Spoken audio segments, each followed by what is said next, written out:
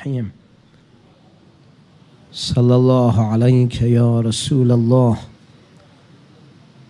وعلى أهل بيتك المظلومين المعصومين الهداة المهديين الحجج الميامين ولعنة الله على أعدائهم أبد الآبدين ودهر الداهرين لبيك يا داعي الله. كان لم يجبك بدني عند استغاثتك فقد أجابك قلبي وسمعي وبصري وبشري وهواي در یکی از زیارات مطلقه حضرت ابا عبدالله صلوات الله و سلام علیه. عرض می‌کنیم ابتدای زیارت دو بار داره. لبیک یا داعی الله. لبیک یا داعی الله. بدنم نبود. به ظاهر خودم نبودم. کمک کنم. دعوت کننده به سوی خدا. اما الان اجابت می کند قلبم گوشم چشمم هوای دلم رأی عقیدم بشری حتی پوستم که دلالت بر مشامش وجود داره. فردا روز اول محرم. فردا روزیه که جناب ریان ابن شبیب دایی هارون الرشید بود. یبن شبیب یبن شبیب که میشنوید این دایی هارون بود. اما سقتون ثبتون جلیلون یعتمد علیه در کتب رجالی. خدمت حضرت رضا علیه السلام روز اول محرم رسید. که حضرت اون مطالب فرمود و روایت طولانی. و مثل فردام حضرت ابا عبدالله علیه السلام به قصر مقاتل رسید که اکثر کتب تراجم اصحاب حضرت عنوان قصر بنی مقاتله که نیست. قصر مقاتله. و غروبم که رسیدن به نینوا فردا شب. اما در این عبارت اولا لبک گفتن در مقابل نداست صدا زدن ما رو. کسی فرمایشی فرموده ما داریم اجابت می‌کنیم. این اجابت به همین مطالب معمولم حساب بکنیم خیلی آداب داره. منها شما مهمانی می‌خواد برید. سعی می‌کنید چون جزء مدعوینید سر وقت برید. لباستون رو عوض کنید مناسب اون مجلس. اون کسانی که دعوت شدند با خودتون می‌برید. می‌بینیم امیر المؤمنین سلام الله علیه میفرماید اگر کسی رو جای دعوت می‌کنند بچهش با خودش ببره من الجفا. گفتن فلانی تو این مجلس دعوت شده. پسرشو با خودش ببره. امیر علیه السلام من الجفا. ولو من الصغار. بچه است.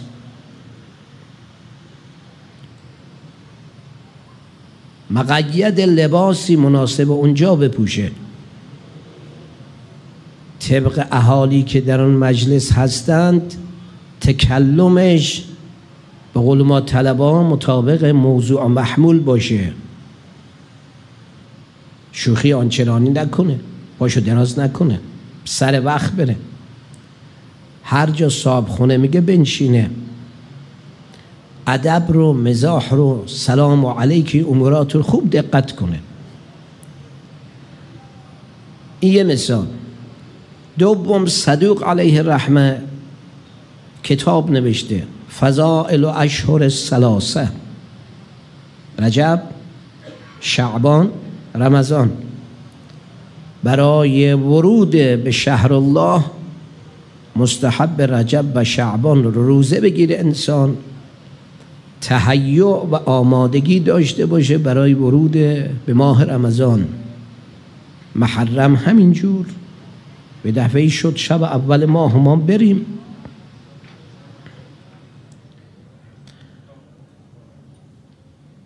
پنجا شست روز قبل از محرم مراقب چشماشون بودن. برای تو محرم بتونن اشک بریزند. به شهر الحسین علیه السلام می‌خواد بره. پنجا شست روز مراقب گوشا بودن. حتی قبیح نشنوه. چه برسه به غیبت و تهمت و موسیقی و الفاظ رکیک. برای بتونه روزه گوش کنه. زیارت عاشورا گوش کنه. پنجا شست روز مراقب پاهاشون بودن. هر جایی نرند. برای بتونن برن به روزه و مجالس امام حسین علیه خودتون می‌بینید دیگه. تکرار این کلمات منم چندین ساله گفتیم. بعضیا صد متری مجلس می‌رسن وای میستن. بعضی چل متری مجلس می‌رسن روی موتور نشستن. دیگه نمی‌تونن بیان تو. انگار مقید به قیودشون کردن زنجیر بستن. پنجا شست روز مراقب زبانشون بودن. رادود مداح شکر و شعر رو تکرار می‌کنه میگه گوشواره شعر رو تکرار کنه صدا به نجف برسه به کربلا برسه به در حجرم نمی‌رسه زبان سنگین شده. غیبت و تهمت زیاد گفته. دروغ زیاد گفته. حرف رکیک زیاد گفته. آلوده شده. حالا می‌خواد نام سید و علیه السلام به زبانش جاری کنه. شما در نظر بگیرید یه لوله است از ظرفشوی اومده رفته تو چاه و بئر و مزبله ای ظرف چرب شستن دست کثیف شستن دست خونی شستن. این لوله آلوده است. حالا می‌خوان اینو بردارن بذارن بغل منبعی. گلاب غمسر کاشان ازش عبور بدن. میگن نه آقا اینو باید تمیزش کرد. تنظیف بشه. تطهیر بشه. گاهی اوقات میگن خیلی خرابه باید تعویز بشه. حنجر آلوده شده. می‌خواد بگه یا امیر المؤمنین یا فاطمه الزهرا سلام الله علیهما. بگید به اونایی که دم از عرفان می‌زنند محرم کارخونه آدم سازیه و گناه سوزی بزرگترین استاد اخلاق دستگاه سید و شهدا علیه السلام. ورود به محرم ملاحظات کثیره و عدیده و نفیسه ای داره. اینها اگر اعتنا بهش بشه ببینید استاد اخلاق به کی میگن معلم اخلاق به کی میگن. شما خواسته باشید کسب عشق کنید. جمع کنین اینها رو. که وقت جمع کرده بودیم حالا وقتش نیست بیانش دهم رد میشه. نماز صبح قضا بشه قصاوت قلب میاره اشک و خشک می‌کنه. موسیقی گوش دادن قصاوت قلب میاره اشک و خشک می‌کنه.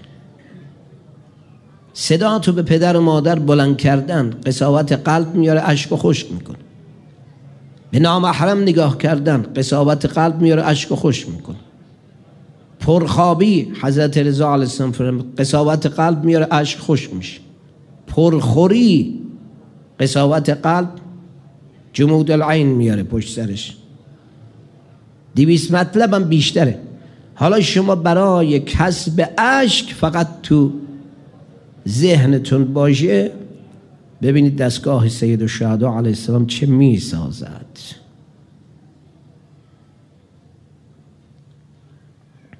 لذا شما می‌بینید هوا و فضا هم از امشب فرق می‌کنه. علویات دارم به کربلا می‌رسند. زمین و زمان خصائص زینبیه سلام الله علی زینب الکبرا شب اول محرم خدا به کروبیین سادات ملائکه دستور میده پیراهن خونین ابا عبدالله علیه السلام در عرش آویزان کنند. اولین کسی که کتیبه می‌زنه خود خداست. چه کتیبه می‌زنه؟ جای سالمی نداره.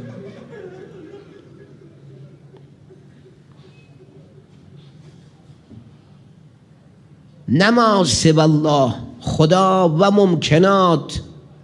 و یبکی علیه کل شیء ما یرا و ما لا یرا حتی الحیتان فی البحار. اون چه که دیده میشه و دیده نمیشه برو گریه می‌کند تا ماهیان دریا. ورود به محرم ببینید چه اذنی داده شده. اولا باید خدا رو شاکر باشیم که باز دوباره حیات ما رو طولانی کرد به محرم امسال رسیدیم. خیلی ها بودن. در همین حسینی هم خدا همشون رفتگان دوستان امیر المؤمنین و رحمت بفرماید. اما خب باز یه محرم دیگه. دوم یه مطلب عرض می‌کنیم در ابواب الجنان شیخ خزر شلال عفقابی علیه الرحمه. کامل زیارات هم هست. به مناسبت اقبال سید ابن تاووس رضی الدین علی ابن موسی نه سید عبدالکریم. در اعتاب ائمه صلوات الله علیهم کسی می‌خواد بره زیارت؟ استحباب داره وقوف عند العتبه کنه. یه چند لحظه وایسته. حضور قلبی پیدا کنه بعد بره وارد عتبه بشه. یه مکسی بکنه. همینجوری نپره بره. میگه مزن دخول بخونه. در عتبه مبارکه حسینی علا سانک ساکن آلاف و تحییت و سنا روایت داریم اگر ایستادی توقف کردی گریه را گلوتو گرفت یا اشک جاری شد؟ یعنی ابا عبدالله علیه السلام اذن دخول دادن فدخل برای محرم سفارش می‌کردن مرحوم آی تبریزی رضوان الله تعالی علیه از اساتیدشون در نجف اشرف میفرمود. محرم سفر به بستگانمون بگید مهمونی نداریم ها. عزاداریم مجالس خلوت نشه. بعد از سفر ایامی که گفتن خبر بدن اونچه در وسعه انجام میدیم. سفارش می‌کردن خدا رحمت کنه ها شیخ قلعنوی رو تو نیشابور کنار فضل ابن شازان دفنه. گفت پدر مادرای ما گفتن محرم سفر تخمم نشکنید. آدم سم نجوید. اون وقت سقز بود. نه یک کسی از دنیا رفته بستگان متوفا اهالی معزا جلو در دادن دیدید کسی تخمه بشکنه؟ دستار گذاشتن معدب حزین کعیب وایستادن. ما عزیزمون از دست دادیم. تو ماه محرم سفر نه مکروه نه حرام. ادب ادب. عقد و زواج برکتی به کارش نیست خیلی امتحان کردن. حرمت کنه انسان حرمتشو حفظ کنه. سفارش می‌کردن تو محرم و سفر حواسمون جمع باشه. غذاهای رنگین نخوریم. امام صادق علیه السلام فرمود اینهایی که می‌بینی اینجا دفنن با شکم گرسنه و جگر تشنه از دنیا رفت.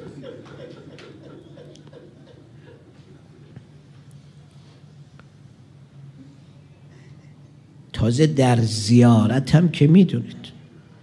امام به اون رابی فرمود فلانی سربه نکشی کربلا. زمان امام صادق علیه السلام. چقدر گذشته از واقعه؟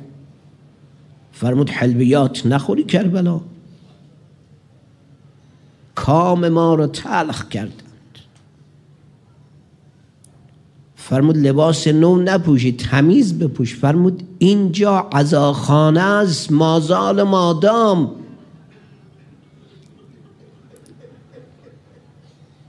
لذا به اون شخص فرمود چی این بخچه دستت؟ اهل کوفه می‌رفت. گفت یه مقدار آقا میوه خشکه. یه مقدار گوشت قرمه کردیم. به چیزای دیگر. فرمود لو کنتم تزورون قبور آباءکم و امهاتکم سر قبر پدر مادر خودتون برید میشینید اینجور می‌خورید. تازه این برای کربلاشه اما محرمش در همه جاست. گفت چه کنم؟ فرمود شعسا ان قبرا ان حزینا باکیا حافیا جائعا عطاشا. جولیده موی قبارالود شکم گرسنه جگر تشنه پا برهنه با اشک برو. ثم بکل امام علیه السلام. فرمود اینایی که اینجا. پا رو زمین گذاشت دید امام داره گریم. گفتن آقا فرمود اونقدر تو این زمین عمه و خواهرانم دویدم.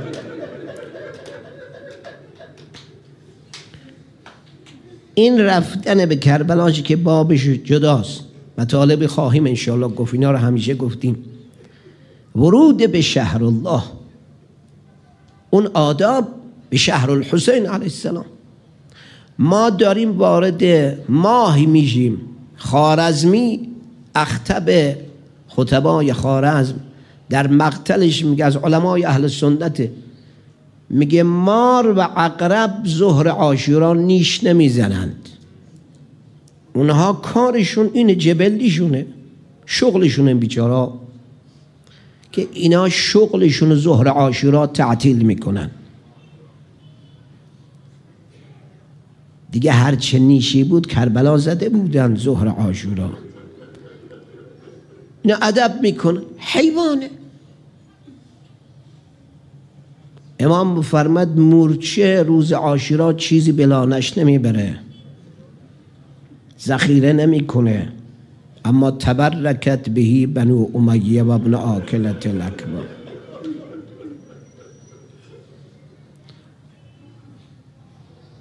گاهی اوقات می‌بینیم که دشمن علامت های دشمنیشو حفظ کرده. ماها علامت های دوستی رو نه. نمونه اربعین اربابی. علیه الرحمه از علمای بزرگ در قم مدفونه شما دیدید بارها اینو دقت کنید بعضیا بهتر از من می‌دونن اما به بعضیا بگید. بعضیا جلو اتوبوساشون جلو یه نعل استیل می‌زدند. این نعل زدن می‌دونید چیه؟ قدیما بعضی به سردر خونه ها می‌زدن. بزرگترها یادشونه درای چوبی. بنو نعل در شام هنوز هستن. اینا نسلشون بر میگرده به کسانی به اون ده نفری که نعل تازه زدن به اینا در, در خانه هاشون نعل می‌زدن سر در که هر کی رد بشه بگه ما از اونهاییم که این شیرین کاری رو کرده. نحن رززنا الصدر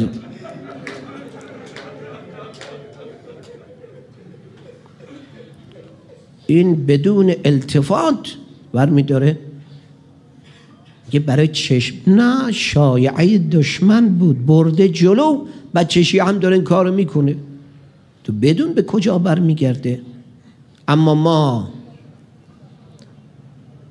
این سقاخونه کوچیک ظرفهای آب میذاشتن. قدیما سلام بر حسین علیه السلام لعنت بر یزید. تمام اعتقاداتمون تو این دو کلمه است. تولا و تبرا. تولی و تبری. این ظرف آب گذاشتن آب دادن و سقایی دنیایی معنا درش خوابیده. که یه وقت 27 معنا گفتیم براش. تشنم ریستید ایام دستجات و عذا به قصد شفا برید بگیرید بخورید. که دهن بعضی یابگوهام البته بسته بشه. چون دیدید که هر سال محرم که نزدیک میشه اسلام شناسا شروع می‌کنند. می‌بینی بعضی ها چند روز قبل شروع کرد یعنی چی آقا؟ میگه هفتاد روز به محرم شست روز به محرم. این در قرآن هرچه بود شما انجام بدید هرچه نبود میاد صحبتم می‌کنه. میگیم باشه تو قرآن نماز صبح نیست نخونیم. غسل مست میت نیست نماز, آی... نماز آیات نیست مفترات صوم نیست. نخونیم انجام ندیم. اما تهیع من حرم حضرت معصومه ها عرض کردم. یه دو جمعه قبلم شب جمعه حرم حضرت عبدالعظیم علیه السلام عرض کردم. دم بعضی مناسبت های ملی تو این کشور انجام میشه مثل 22 بهمن. گوشه تلویزیون از چندین روز نوشته شد. بدعتون؟ به دستگاه اهل بیت علیهم السلام برسه میگیم اینجوره. می کسی نگفته هفتاد روز به محرم علم و کتل بیارید تو خیابونا لطمه بزنید پا برهنه بدوید مشکی بپوشید. نه. آمادگی داشته باشید. مقدمت الجیشه پیش قرابور برای اینکه ماه داره میاد آماده بشیم. الحمدلله همون ایام دیدیم نسبت به قدیر شبکه های مختلف گوشه نوشته بود. 20 روز به قدیر 18 روز به قدیر که الحمدلله به کوره چشم دشمنان امیر المؤمنین چل روز به عید خونه میشورن. در پیکر رنگ می‌زنن. فرش میشورن. فکر کد شلوار و کد دامن و مانتو هن. بعضیام شروع می‌کنن به کشت گندم و جو که گفتیم بعضیام عدس و خاکشیر رو دی عدم توفیق دارن خوش خوش میکارن. برای ایام نوروزشون. چارده روزم سر کار نمیان بعدش. بعضی هم احتیاط می‌کنن هیفته هم میان. یه سه روز احتیاطا دیرتر میان.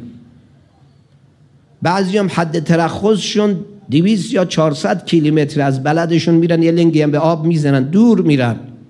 یقین کنن که ایام نوروز امر اقامه شده. قدیر همون یه روز میپریم. این هم, هم دستور داده شده سه روز عید قدیر. فاطمیین در مصر 250 سال حکومت کردند. دولت علوی و فاطمی داشتن. سه روز تعطیل رسمی بود. تغییر رو ترک کردن به این ایام مبتلا شد مصر. ما به عید فطر اضافه می‌کنیم. هشتاد و دو اسم داره. همه به زیارت هم برن همه به یکدیگر هدیه بدن. ما زود آماده میشیم روز عید قدیر حمله می‌کنیم به منزل سادات اموالشون رو غارت می‌کنیم میان بیرون. همه به هم هدیه بدن. برای محرم تهیع نمی‌خواد. اونم شهر الحسین علیه السلام. پیرمرد بود توی نیشابور خدا رحمتش کنه تو محل ما. ده بیس روز به محرم بود من یادمه بچه بودم مثل الان بچه تر از الان. به این چایریز مسجد می‌گفت رفتم دندون درست کردم توی محرم دندون دردی چیزی نگیرم از روزه ها با بمونم. عجب اعتقاداتی. به فکر چی بودن فلانی همه کاراش می‌کنه میاد میشینه پای تلویزیون فیلم دو ساعتی و نمونه. باباش نرش زنگ میزن که گوشه قطع کن.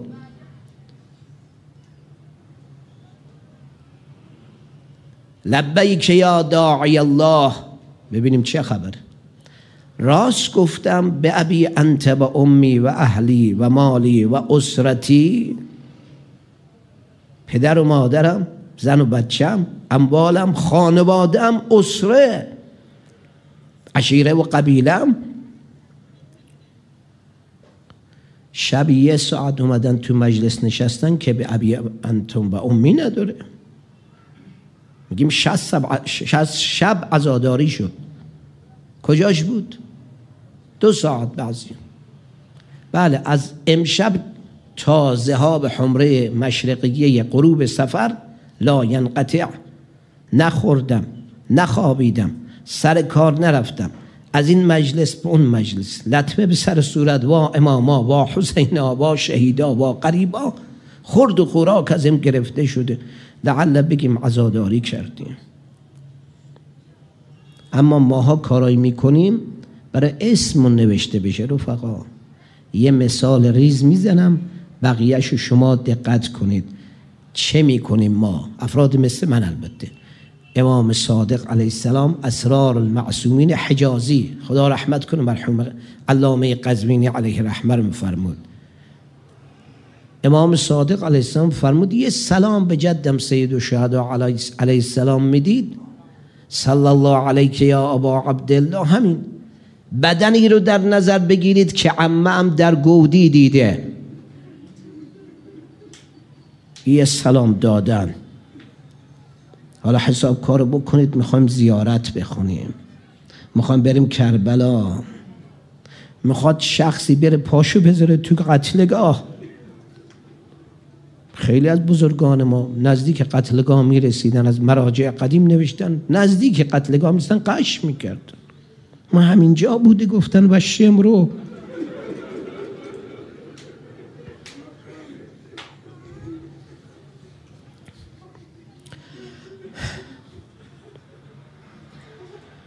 خاک بر فرق من که میگم. ورود به محرم. و کان تقلب الكعابت علیه. حضرت رضا علیه السلام بفرمد حزن اندوه بر پدرم موسی بن جعفر سلام الله علیه ما قلبه می‌کرد تا می‌رسید به شب اول محرم.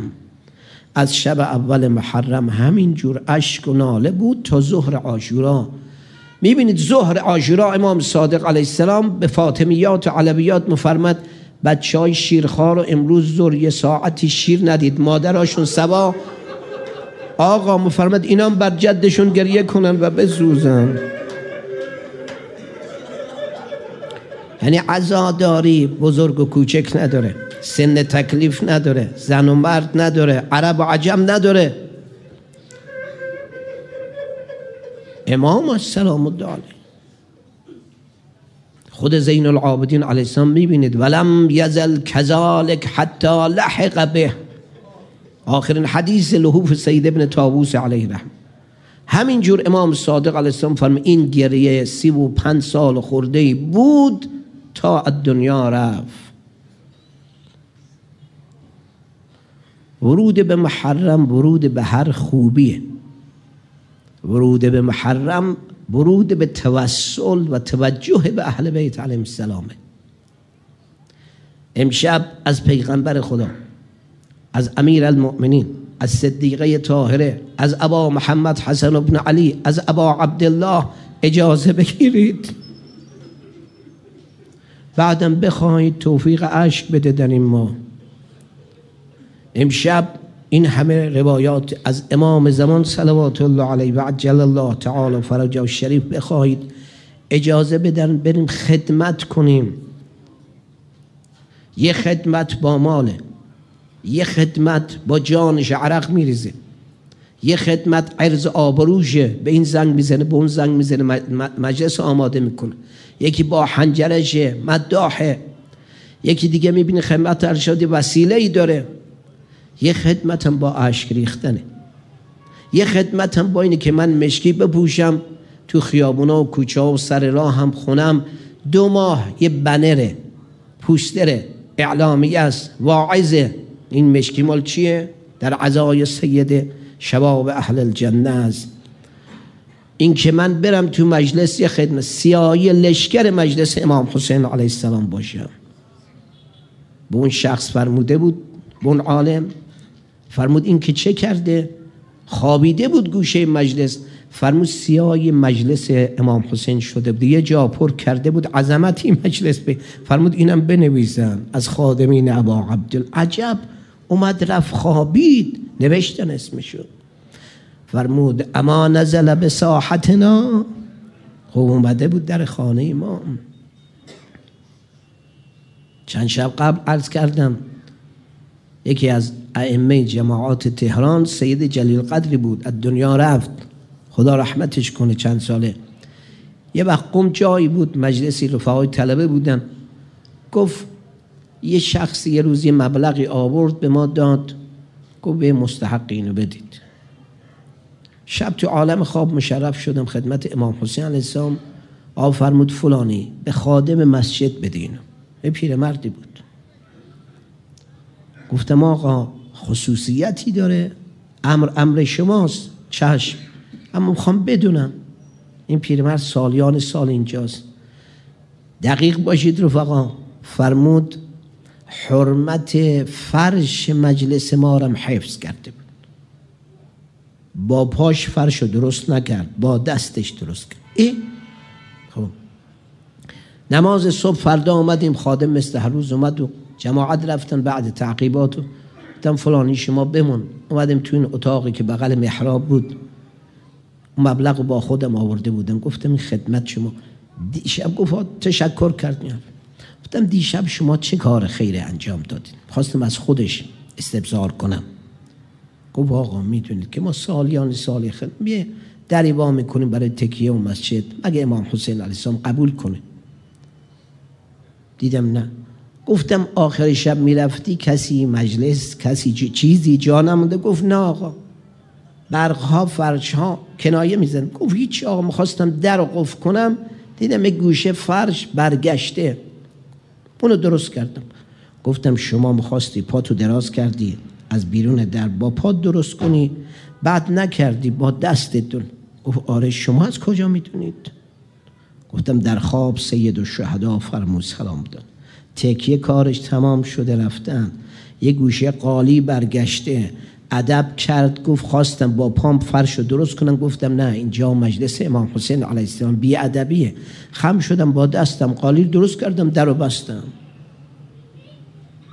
همه چیزو دارن مرحمت می‌کنن. همه چیزو دارن می‌بینن. انقدر در خونه باز آقان و آقازاده چرا جای دیگه بریم؟ این هم, هم روایت داریم. هیچ کس هیچ کس به اندازه این خانواده ما رو دوست ندارن هرچه امام صادق علیه السلام فرم شما ما رو دوست داشته باشید ما باز شما رو بیشتر دوست داریم. از امشب به فردا و بعد ملاحظه کنیم. این حرفای علمای نجف بزرگانمون در قوم مشهد قدیما جلو یخچالا میرید آب سردی بخورید از فردا. به یاد این زن و بچه باشید. حدود چهارده سال قبل من باب القبله نیمه شعبان منبر بودم. یه وقت اومدیم پایین تو حجره است... لطف کردن آبی چای اینها. یه زنی بود جلو حجره بچه قنداقی بغلش بود. خیلی جیغ می‌زدی بچه. چند دقیقه که ما نشستیم دیدیم به که خدمه گفتم خب چرا ساکتش نمی‌کنه؟ گفت الان داره میره. گفتم خب یه ذره شیر بده بهش. گفت اینا رسم ندارن. معدانی هم هست. مال دهات کربلاست. گفت تو حرم میگن بد جلو امام حسین و علی اصغر به بچه شیر بدیم. از رباب خجالت می‌کشیم. بچه رو زیر چادر کردن از حرم بردن بیرون.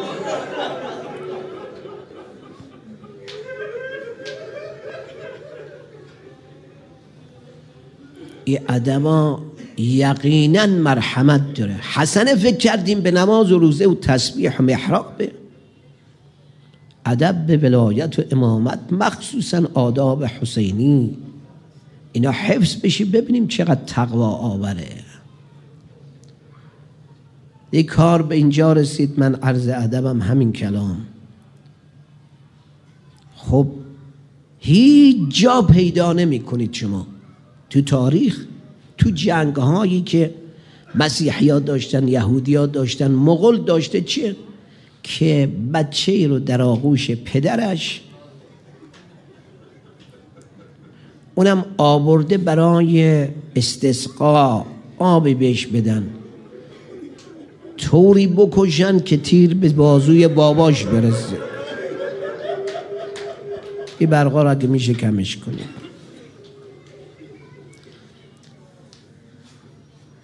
خب مرحوم آی ذهنی میفرماید فزه گفت حضرت زینب سلام الله پیراهن علی اصغر علیه السلام داده بود بالا با مغنعش باد می‌زد. یه مقدار حرارت بدنش کمتر بشه. یکی از بچه ها گفت که عمه بریم به خیمه اولاد عقیل شاید ته مشکاشون آب داشته باشه. خیمه بیبی بی وسط خیام بود به هم راه داشت. می‌دونین علیا مخدر آبی نیست اما ایشونو برداشت. پشت سر ایشون دو سه دختر بچه را افتاد. به خیمه بعدی دو سه تا پسر بچه. به, خی... به خیمه اولاد عقیل رسید بیبی بی 17 تا دختر و پسر کوچک آمده بود.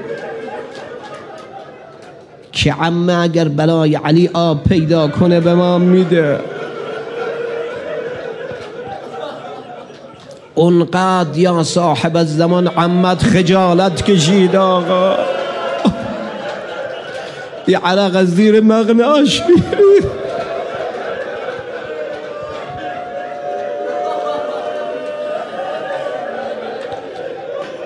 علی اصغر اونقدر گریه کرده دیگه از چشماش اشکی نمیاد. آب بدن کم شده. آقا آوردن اونی که بهتر می‌دونید رو دستشون. الم ترحمونی فرحمو هذا الرزیع اما ترونه کیف یتلزا عتشا. یتلزا نه اون که ماهی افتاده دست پای آخرش می‌زنه نه. مرحوم ترحی هم داره. دست پا رو زده تمام شده. فقط دهنش باز میشه و بسته میشه. دیگه رمقی نبود به جان علی اصغر دیگه. اما ترونه کیف یتلذا عتشا حرمله میگه عمر سعد گفت چرا معطلی؟ گفتم امیر پدر رو نشانه بگیرم یا پسر رو. گفت اما ترا بیاز تحت نحرهی سفیدی زیر گلو رو نمی‌بینی. هر جا نشستی به قصد فرج سبار یا حسین